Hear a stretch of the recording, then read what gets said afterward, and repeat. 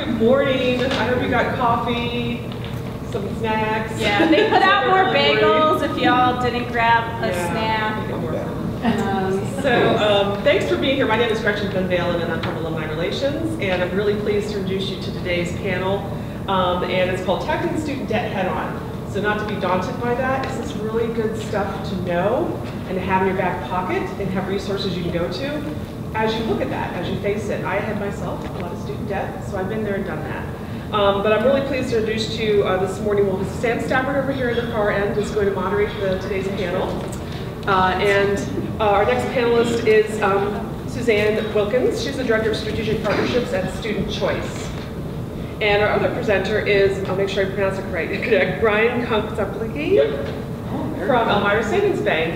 And um, they're going to talk to you about not just only like student debt, but just like thinking about how you can spend your money wisely while you have debt. Hope I have that right. You know, keep yourself secure and not to, I mean, really, I to tell you because I've been there, done it, not to be freaked out about it, uh, but to know more and also to, um, you know, have that information so you can make some really good choices. And uh, I'm really excited to hear it because I myself have a couple students who have student loans and I can reiterate to them what they're doing. So without further ado, thanks so much for being here and introduce you to the manager. Thank you. maybe introduce, did you talk about where the, where? Okay, you did? Awesome. So I had a bunch of questions that I sent you all. Um, so I have some questions that I was just gonna ask them, but I think too, as we're talking about things and you have questions to those specific topics, I wanna uh, encourage you all to kind of talk about those topics. As someone who, I will say it's achievable. At 31, I was able to eliminate $35,000 of college debt. great. Um, I will say I have the privilege of having a partner, so that helped a little, but it is something that you can do and uh, be successful at. But, so I'm thinking about like all the loans, this is not a, uh, this is an expensive place to go to college. so, when we're thinking about college loans, what are some basic tips can, that you can give students for tackling like multiple student loans, especially if they're thinking about going to graduate school and incurring more? Well, okay, so I think the first thing that everyone should understand is what kind of debt do you have? I mean, I know that sounds really simplistic, but a lot of people, uh, when they graduate, they don't even know. Uh, do I have federal student loans? Do I have private student loans? Are they fixed rates? Are they variable rates? So you have to really start at the beginning to really understand what you have. Knowledge is power. We all heard of that. It really does save you money in this topic. So what I would suggest you do is go out to a couple of different websites, okay? Hopefully you have pad and pen. Um, but the first website that you have is, uh, sure, um, nslds.ed.gov. So that's the National um, Student Loan Data Center, okay? And uh, you should be partly familiar with it because when you fill out your FAFSA form every year for college, you need a, an FSA ID number to get into the system. Same thing, same type of system. So once you're in that system, you'll be able to see all your federal loans, all your grants, and all your scholarships. The only thing that you will not see out there is your private student loans if you have any. If you have private student loans, the, there's only a couple of different ways to find out information. If you don't have your paperwork in front of you, you can either call the financial aid office of the college that you graduated from, or you can go to annualcreditreport.com. That, we all know that website, where you can pull your credit reports and see what is on your credit report. So I think that that's the best way to, to start. Knowledge is power. Um, so I don't know what to add to that other than looking beyond your student loan debt or once you're in repayment. Um, I could probably sit up here and talk for the entire hour about kind of strategies and all that. So I kind of want to leave it to the questions and answers and, and organically. But suffice to say is um, read the fine print and get a free copy of Credit Bureau right away. Um, because debt is a tool. You want to think of it that way. And a lot of times in later life, um, whether it's just after graduation or you know, 20, 30 years later, um, you're going to want other things, and other people, other financial institutions are going to want to see what your character, what your capacity to, to pay is, um, and really, a lot of that is uh, divined from a credit bureau. Um, I lovingly call it sort of the worst, best tool we have because, you know, how do you tell somebody he's a good person from a three-digit number? Um, you can't. Um, it's very easy to get a very high credit score. Um, there are tricks. Can everybody everybody? Quiet the back. Okay. If I take this, I'm going to start these Hello? I don't even know. It's on. Hello. This is on? Okay. Can you hear me okay? Raise your hand if you can hear me. Not enough coffee here. Um, I think the short version of my comment to add to everyone else's is just read the fine print and be engaged in the tools that you've taken up. Um, Debt is a tool, and there are ways that you can use it to swing to the next thing. Um, So you don't necessarily need to have no student loan debt in order to get a house, or go to grad school or anything else. How many people know kind of where they're falling with how much debt they're going to be leaving if you college with? Do people know whether they have some federal, some private? So you all kind of, kind of have that, an idea of that. Do you know what the interest rates are? Do you know when your payoff will be? Yeah, it's, we're getting some feedback. You know what, I have 11 accords that I. There we go. How's that? So you turn that on? I turn that on. Okay, I'll put, Yeah, yeah. I'll put this. We'll get it. There we. Ten fifty, right? There we go. Do people have any follow-up questions to Yeah. kind of some of that? I Go see a ahead. hand. I was Yeah. thinking, I'm sorry. It's That's okay. Um, it's not a follow-up question to that at all, it's just a regular question. How do you like, like there's ways you can get rid of debt, right, like without paying off like forgiveness, how do you do that? Okay, so there's a couple of different ways that I would recommend. For the first and most impactful way to get rid of debt is to put extra money towards your payment. Anything will do. Now, in, when you're in the job force, make sure that whenever you get a salary increase, because most companies will give you a small salary increase every year, take that extra money, put it towards your, your monthly payments. If you get a windfall, such as an inheritance, or more realistically, the tax return, right, refund, put it on there, because a lot of times students don't realize at the beginning that um, there are no prepayment penalties on any student loans, whether it's private or federal, right? So that means you can put lump sums whenever you want, even when you are in deferment. A lot of students don't realize that once they graduate, their loans go into deferment, they don't have to pay any payments, right? If you can pay payments, pay right away, okay? Don't wait, because um, as Brian and I know, um, your loans, and I, I know that this is probably simplistic, but I think we need to start from beginning to understand how the, the interest calculates on a student loan. It's simple, it's what we call simple interest. So every time that that balance is outstanding, every day, interest gets accrued, right? Now, while you're in college, and you might have chosen deferment, right? And so you don't make any payments, so the financial institution takes that money, puts it in a bucket, so to speak, and then at the end of four years or five years, whenever you graduate, you get a not so great graduation gift because they take money out of that bucket, could be $8,000, $10,000, depending on the amount that you borrow, and then they put it on a principal balance, and then you start paying interest on interest plus the principal. That's capitalized interest, okay? So any type of extra money you can put down on that principal balance, the better off you'll be, okay? So that's one way, I think, um, that, well, a couple of different ways that you can save uh, on paying that back. Now, another way that you could save is by maybe refinancing your student loans. Now, how do you do that? You know, what should you look out for? Because there's a difference between refinancing your student loan and consolidating your student loan.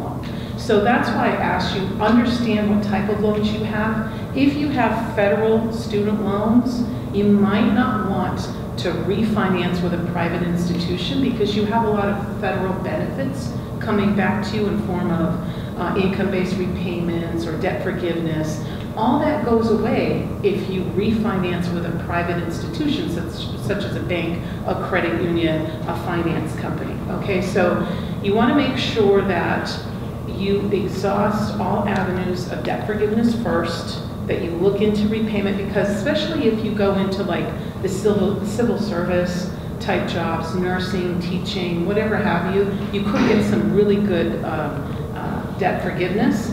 And if you refinance that, all of that goes away. So if, uh, another good website to go to is uh, studentaid.ed.gov. It lists all the qualifications of debt forgiveness and repayment through the government. Please read up on that before you decide to do anything. Now, you can also choose to consolidate just your federal loans through the federal uh, government, right, the Department of Education.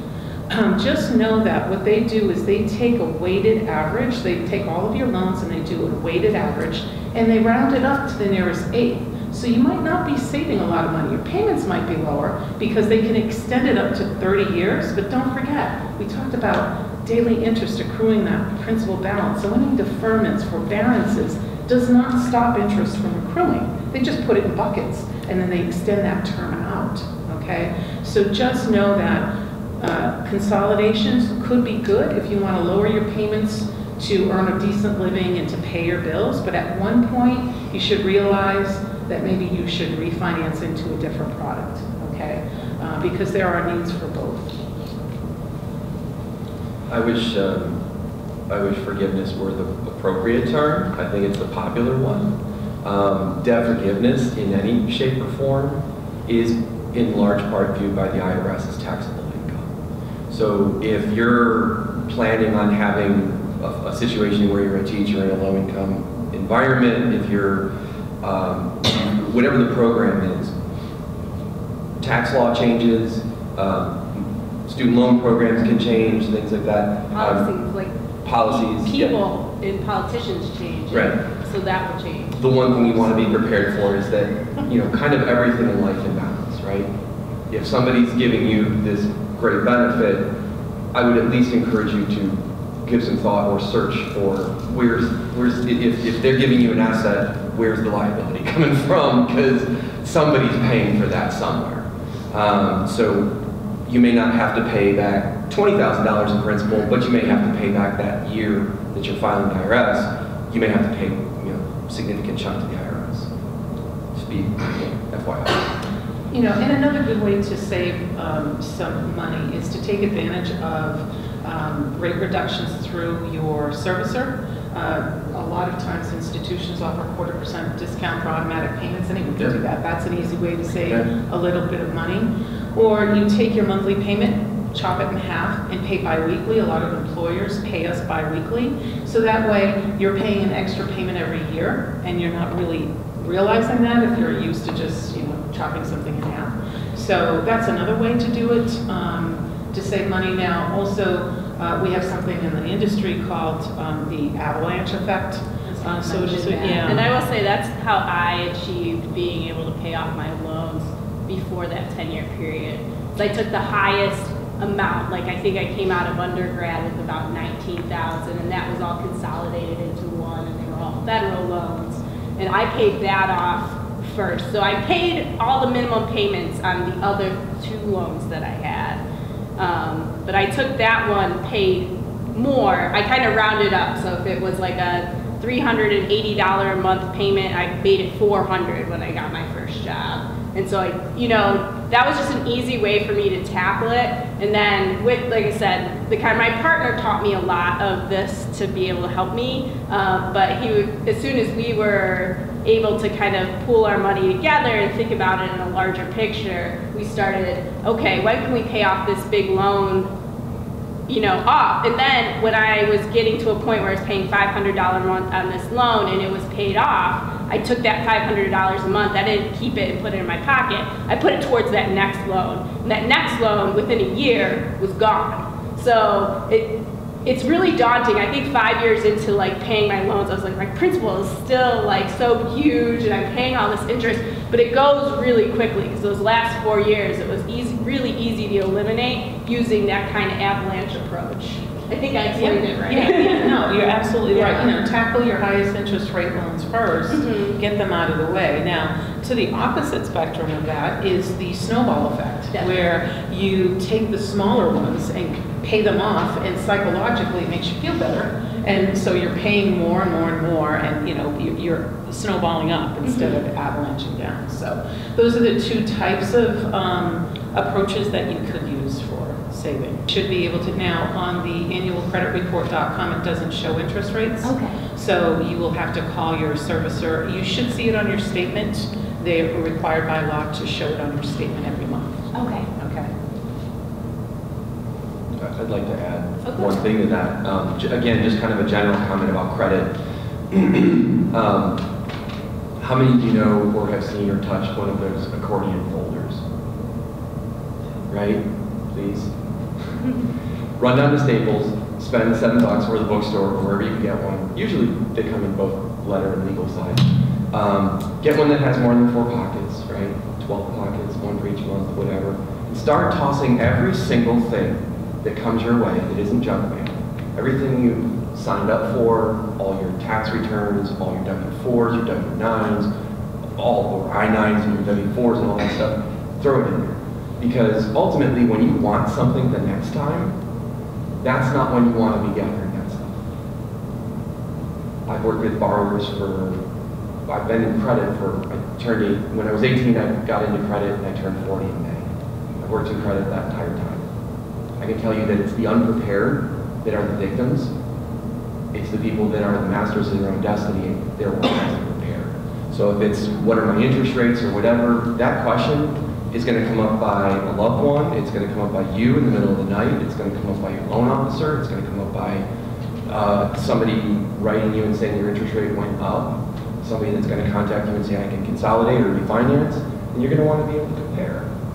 And make it easy for yourself by throwing everything in there and just stay organized. And as a follow-up to that, I keep on thinking, um, your future employers are um, starting to open up a little bit about the employee benefits that they're giving uh, graduates. And instead of just offering 401k matches for your retirement, they're also matching your student loans. So please ask them, ask them if they offer that program. It's, it's just starting to catch on in the upper northeast.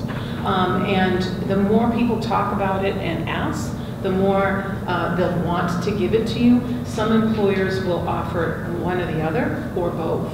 Um, I, I was always taught, I've been in my, the financial industry my entire adult life, and always save for your 401k, right? Always, always, no matter what happens in life. But the reality is, is when you graduate with $100,000 worth of debt, 120,000, you're looking at me saying, yeah, right. I'm going to save for my retirement when I can't even breathe because I'm underwater. Well, this is another good option, okay, for you. So please, please, please ask your employer because they might or they might consider in the future doing a program like that. think, I have a couple of questions, but I feel like you've kind of tackled some, especially around monthly loan payments. Um, One of the ones was how to determine how long your loan repayment will take. Well, there's tons of loan calculators on websites from financial institutions all over. So it's, it's a really easy thing to do. You can go to studentaid.gov to do that. Um, and it's, it's, it's a really good exercise so that you understand where your payoff date is so that you can move that needle down, okay? Um, and, uh, yeah, just, there's a whole of. You can even, there's an Excel formula that calculates that for you. So just, you know, download that, either figure out the Excel formula if you all are that savvy, or just download it, like Google it and say like Excel loan calculator. I've downloaded every time I've gotten a car, my mortgage, anything like that. So, and it's fun because you just kind of click through and you're like, oh, but if I change the numbers, and it will do the math for you, and it shows you exactly when you can pay something off. Um, Again, I thank my partner in his dorky ways to be able to help you. Oh, that's good. Yeah. It's great. Um, Yeah. so if I'm going to grad school next year, Mhm. are my loans like deferred until when I'm done with grad school? Because I did like choose a deferred payment. Does that mean while I'm still in school, I still have to pay, or because my undergrad's over, I start paying? If you're going to grad school, you, again, it, are, do you only have federal loans? I have federal and private. Okay, so you need to check with your private institutions, um, because they have different rules and regulations, and they might not offer deferment, um, or for, but they might, uh, offer something special in-school forbearance, they call it. Um, so with the government loans, not to worry, contact your servicer, they'll defer it. Your private student loans, you really have to have a conversation with them, because it could vary from institution to institution. Is there any don'ts or do, I mean, I think we've talked about the do's of, you know, paying your student loan payments, maybe don'ts of paying your student loan payments, or things that you shouldn't do. Are we all seniors in this room? No, all right. Are we all indebted? I am, I'm still, I still have loans. Loans don't go away, they just. Hey man, it happens. It got me where I'm at today, so it's cool. Well, the- you know, the, the reason why I asked that is, um, I- okay, soapbox time. I love to get on my soapbox because I, I really feel for students today. Um, You know, an 18-year-old wouldn't walk into a bank and you wouldn't give them a promissory note for a mortgage without saying anything. That's what happens in this country with student loan debt. Because you, you want to go away to college and get it, the freedom, the, you know, the ability to go out on your own, and you just want to get there and and over, and you, and you sign. And then at, at the end of four years, you're thinking, oh gosh, now I have to pay. Now, one of the things that gets the, um, the, the students uh, in some trouble is surplus funding.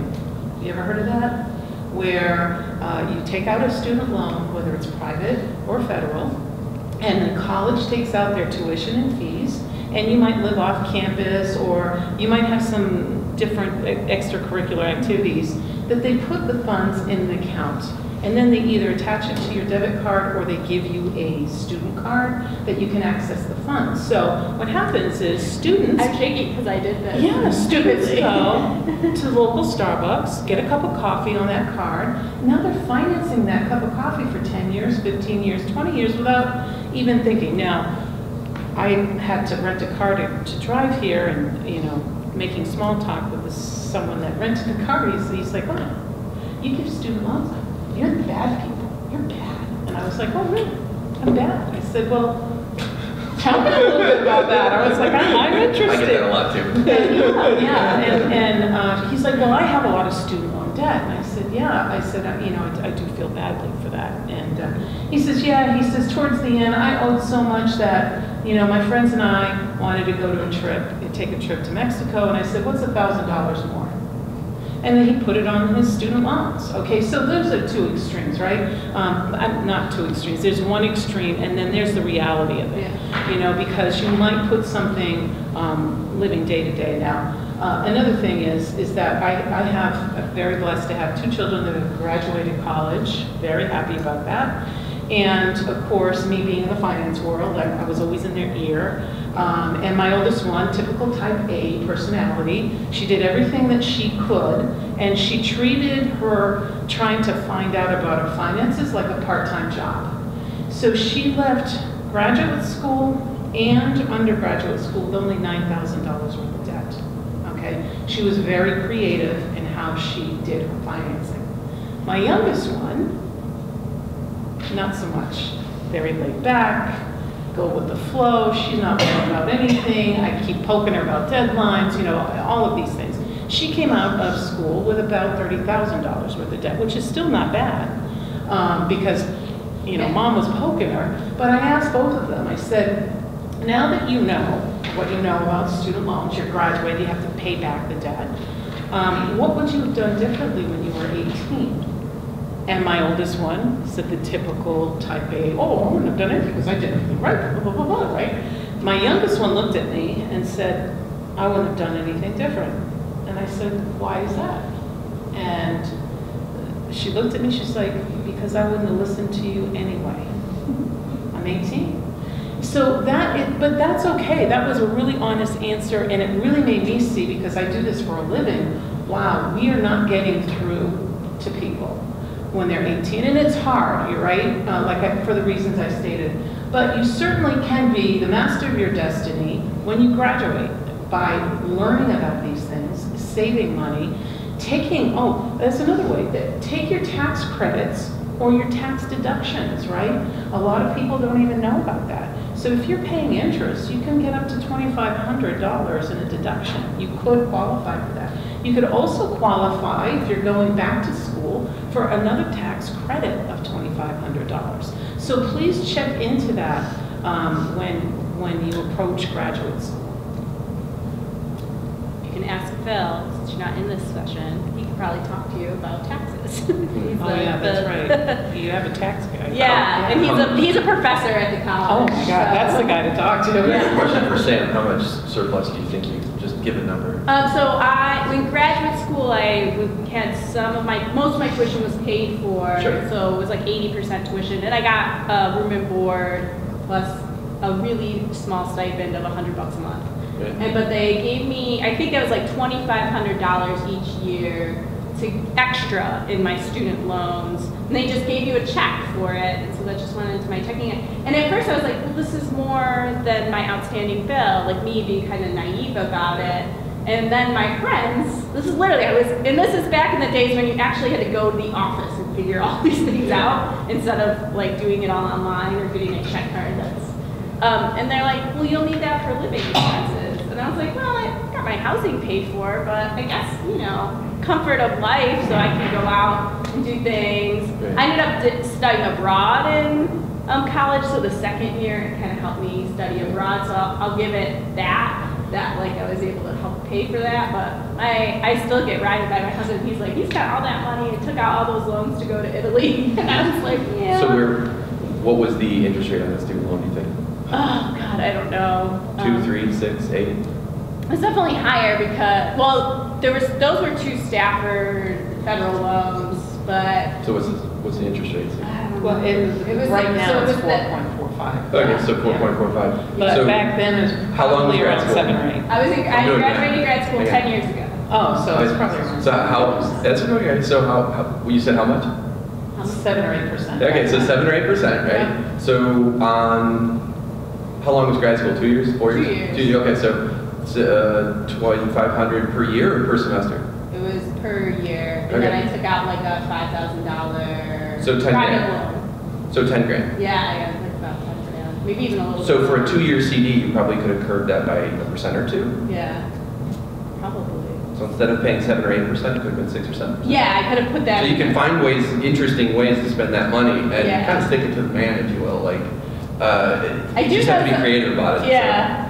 Yeah, you probably don't like this as a mortgage, but I do know someone who took their student loans, put it towards the down payment for a house. Uh, Yeah. Like, and I don't know if that's a good idea at all, but there's. I mean, using debt to finance debt. so- Yeah, I will also say that it was the, in like 2008, there was all these tax, it was, it- that It was time. crazy. it's- It was the crazy tax back credits, we were trying to get out of the, that's when I graduated at the like peak of the financial crisis, so. Thank you for putting it that way, not the Yeah. mortgage meltdown. Yes, exactly. Which I had nothing to do with. That's fair. So I think thinking we're kind of going into these other things, you also, while trying to pay off your student loans and live your life to the fullest, um, you're gonna also need to save for a nest egg. Yeah. So how do you do that uh, really well? Or what are some tips that you might have for students that want to also save? Because eventually, who wants to own their own house someday? That a goal? Sometimes I feel like with your generation, it's not really a goal, but I know for a lot of people that might be a goal. Um, so saving for a house, or just you need to have something to fall on because emergencies happen in life. So what tips do you have for that? So I can say that from working at a um, financial institution that does a significant amount of outreach to the local and underserved public, the, the thing I can tell you that study after study shows is that income does not raise people out of poverty, assets do. If you walk away with nothing from this or any college experience, that's it. If you're a business major, you may know that, or in other ways, assets are what raise people out of whatever circumstances they're in. the interest that they earn on what they invest in, if they have stocks and bonds that mature and grow in value, regardless of what it is, you can make $200,000 a year on salary and it's all gone. But if you start to siphon things away for a savings or for other assets, by owning a home, things like that, um, you will find that your life and your generations after you will get better. Um, that said, I think knowing what your, or at least on a regular basis, revisiting what your short, medium, and long-range goals are, um, is necessary. So you asked how many people want to own a home. That may not be a goal today. Who knows tomorrow? You may move to a new city or go live with mom and dad for a while or rent or whatever. Um, whatever your goals are, make sure you're, you're confident about what those are. If you want to pay your student loans off before you do anything else, you just want your income to come in and pay the student loans off and you're looking at being free of that debt as the asset, then do that. And be 1,000% certain that you're clear with partners, family members, because these are the people that you're going to see on a daily basis. I can tell you that student, just debt in general, money is the number one reason for divorce in this country. So if you are clear about what you want to do, and I don't mean clear as in permanent, you can be clear about what you want today, and then six months from now, that's bound to change, right? Have that process in place. Because that's really going to feed, which, whatever your values are, it's really going to feed your decision making. So if it's starting a savings, paying a loan off, jockeying your student loans to a point on a monthly basis where you can still be in debt for student loans and buy a house. I talk to people about that every day. So ultimately, it's, you know, whatever your values are will feed those decisions that you make. And then from there, you have less to worry about, less stress, more time for your decision making in other ways. Who am I going to go out with tonight? Mm-hmm. Do I have a chance for that Starbucks? Whatever. Um, I'm confident I strayed from the actual question. Just thinking about saving us. I know it's a, a strategy I used coming right out of grad school. And again, I had, I, for the first five years of my post-grad life, I had had my housing paid for. But I did not make a lot of money. I was making less than 30 grand a year, um, which maybe for some people sounds like a lot. But in, for those who are going into finance and working at some of those big fours, you, you're going to make more than that. Um, but I paid myself rent. Um, so I wasn't paying rent, but I paid myself rent every month um, just to build that nest egg. You know, I knew I wanted to buy a new car, um, stuff like that. So thinking about how can, what is that amount, even if it's little, even if it's thinking about how much you make in that biweekly paycheck um, that you can put towards your loans and then put towards you know, that nest egg. And one thing I found really helpful is I went to an online bank separate from my, you know, the bank that I can drive up to and take my out the money in my ATM. And I got this advice from a financial uh, planner when I was an undergrad. But those were just starting to become popular, so I don't know what bank it was. I think it was some iteration of another bank account. But I went someplace that didn't have a card attached to it. So for me, it was really easy to just store away that money and never touch it. Because when I had it where I could go to an ATM and take it out, I was often going to it and taking the money out so that I could use it, um, you know, for my fun. Um, so I think that was one of the big strategies that I used. I found pretty helpful for me, especially knowing my own behaviors. Yeah, that's a good point. I mean, you don't have to take the debit card that comes with your, your account. Now, they're gonna push it, push it, push it, because, you know, they earn income with that, but, um, you don't have to take it. And, you know, an- another way, a couple of different ways to save for your nest egg is when you do get your salary increases, act like you don't and put it in your 401K. Um, a little bit over four, you know, three, four, five years makes a difference, right? And then I was talking to um, a few people in the industry in this area yesterday. Um, they offer, and I'm sure you're familiar with it, um, this first-time homebuyer program where you put money in an account Mhm. and then you get a grant for the down payment. It's a loan. Uh, the Federal Home Loan Bank in New York. So, um, stop me if you've heard this one. Um, large financial institutions, think Bank of America, right? They're back in the 70s. The federal government passed a law. It was the Community, Community Reinvestment Act. Basically, it's a tax on um, how popular or how, how profitable large financial institutions are. So for-profit financial institutions have to pay into this fund. The federal government sort of Robin Hoods it to the, the Federal Reserve, the Federal Home Loan Bank system. Federal Home Loan Bank system, and there's a Federal Home Loan Bank in New York and Chicago and Cleveland, and, you know. Um, each of those entities the, is allowed to disperse the money however they want. And in New York, um, and it actually covers New York, New Jersey, and Puerto Rico, they have a first, first home club.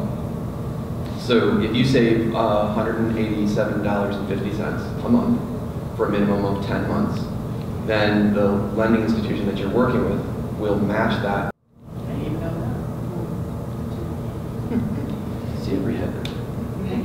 Yeah. It's, it- for, it's for homeownership, absolutely, and there's other, it's called an IDA or individual development account. Basically, it's to sort of short circuit the idea that, you know, when when, when banks were, back in the old days when they were, you know, marble on every surface, um, poor people can't save money, right? We all know that, right? That was an assumption.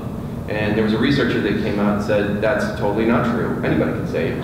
Um, they just have to have a big enough carrot at the end of the stick. And so one way that this idea came about was the the IDA or individual development account. Most every bank and credit union in New York State has access to it. It's just most of them don't care or don't know uh, or don't want to put money into it because it does take a little bit of effort. But once you get it up and running, would you like to have eight grand for pretty much free in 10 months? I would. Um, it's income based, so there's an income cap, but there's other affordable housing agencies in Ithaca and across the country.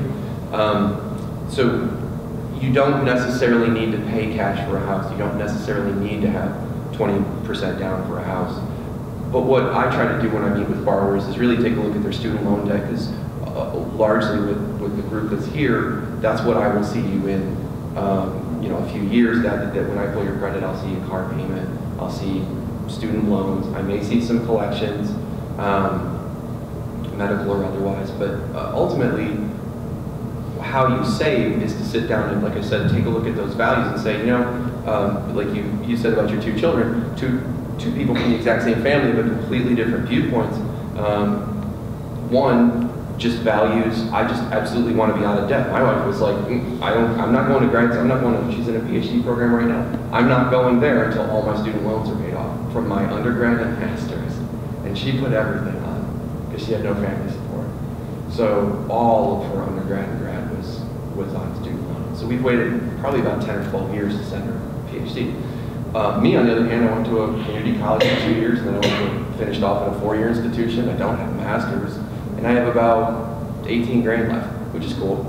I've been paying the minimum payments for all of eternity, and because I'm so close to how finance works, uh, I'm very comfortable saying I'm going to pay the minimums, and what does that allow me to have? Vacations, three kids, daycare costs. Like, it, eventually, this stuff starts to even out, and you just sort of get used to, you know, two thirds of my net pay is going out. What do I do with the other third? You know when you net out for profit after undergrad school? When you're about between the ages of 30 and 33. That's without any part-time jobs during four years, doing nothing extra. But if you make extra payments, if you work those extra hours and put money, that, that age decreases so that you start earning more. That goes into your pocket or your 401k. Do people have questions? And they've talked a lot. so- You in the back. I have a question, sorry, I'm interested. Um, Student loans, have children who are in college, that have been loans as well. Uh, My question just for the audience, um, how many of you have uh, a budget? Mm. Personal, you know, budget, you know what you're bringing in, of course you're, okay, that's really great. I did it for a long time after I graduated, and I highly encourage that you know what you have coming in, and you know what you have that's gonna go out and the interest rates, and just keep it in a place. And I love that accordion binder idea, because my experience in this, I graduated a long time ago, when I was coming out of college, students were being pushed to get a credit card, and then you start using that credit card to pay for gas, or for some, you know, food, or repairs. Next thing you know, you've got thousand dollars, and you're paying, at that time, like, you know, twenty-five percent interest, that's money you're literally throwing away. And so just my own experience and watching what you're all coming into now compared to when I graduated, everything that this panel is talking about, I cannot highlight enough to be aware of what you have and know that your goals might change in five or six years. If any of you are thinking about buying a house now, you're like, no way. But someday you probably should, because it's better money than renting for the next fifteen plus years. So just that awareness is important, and lean on people who are available for you, just to say, I, here's what I have, what do you, what what would you think, advise me to do? So, um, don't do what I did, and just kind of like pay off my loans, minimum, forbear them, because I just, you know, want to spend money on trips and things like that. You would have this great uh, array of information for you, and I can't encourage you not to take advantage of it. It's not questions, just Yeah. uh So I I will say budget is a four-word, four-letter word. I I appreciate the thought. I I know. I encourage people to come up with a spending plan, and that keeps it both more temporary, more, more kind of, I gotta check in about that, and also, a spending plan can be really consistently brought back to your values.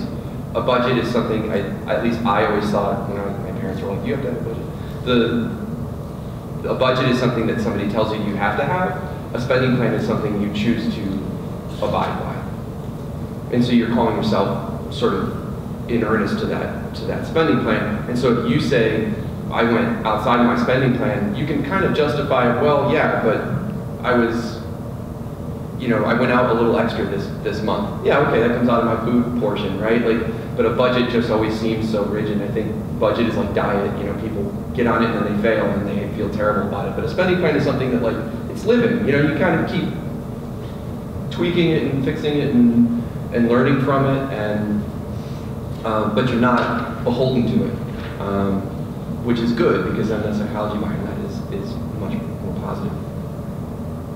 We have about, what, six minutes left for this session. I want to make sure that you get your questions answered when it comes around, comes to like saving, debt. I was going to ask a little bit about credit, um, but we touched a little bit, I think we've touched on it. Um, credit cards, um, anything like that. So I want to give it out to the audience to ask any questions. Or is there something that they said that you didn't understand or that you were hoping to gain from coming to this this morning? No, it's early, folks. Yeah, you had to schedule the money first. Sorry, yeah, I know. Well, I, I have a few things to say about Yeah. credit. Um, Again, I was talking uh, with um, a vice president yesterday of a very large credit union and told them that I was coming here. And uh, I said, hey, do you have any words of wisdom that I could, you know, share? And he said, oh my goodness.